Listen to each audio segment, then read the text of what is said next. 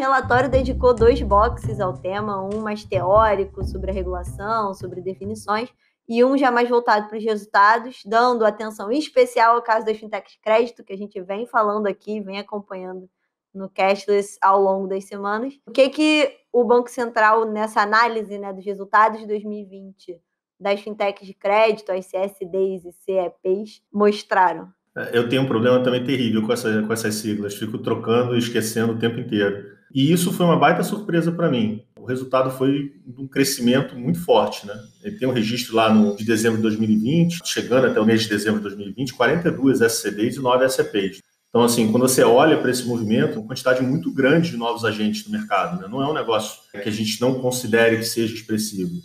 E você já vê também uma mudança, inclusive, de perfil. No final das contas, você olha para 2019, SCDs ainda muito direcionados para pessoas físicas, final de 2019 e todo o ano de 2020, você já começa a olhar com volumes de crédito que são é, relevantes voltados para pessoas jurídicas. Né? Então, você vê essa mudança no perfil de cliente.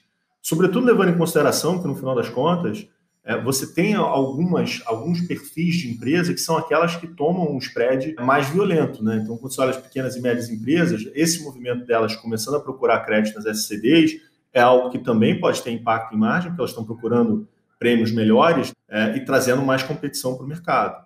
Outro ponto que foi bem interessante também sobre as CDs é capilaridade e footprint. Você começa a ver, embora elas ainda estejam muito concentradas na região sudeste, talvez todas as principais sedes estejam na região sudeste, você tem concessão de crédito que, que se aplica a PJ em praticamente todas as unidades federativas, todos os estados. Você vê não só um crescimento, mas também esse modelo se espraiando, né? Você começa a ver isso começando a tomar o Brasil. E as próprias SCPs, também, agora saindo das SCDs indo para as SCPs, você começa a ver elas indo para um público alvo assim, focado mais de baixa renda, né?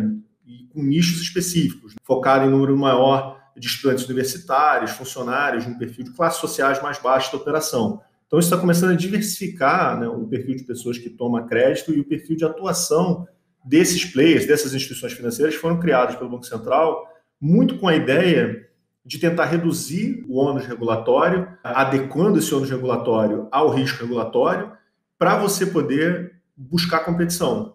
E isso está acontecendo. Né? Esse, esse primeiro movimento ele começa a trazer os seus efeitos agora. E isso efetivamente é interessante, porque a gente começou a olhar muito mais para pessoas físicas nesse primeiro momento, e agora você já começa a ver pequenas e médias empresas. E pelo próprio relatório de 2019, a gente via que as pequenas e médias era o perfil de empresa que pagava é, o crédito mais caro. Para desenvolver o país, você precisa trazer um crédito ao preço mais adequado. E o interessante também das SCPs, além dos fatores que a gente falou agora há pouco, é também uma lógica de pulverização de setores.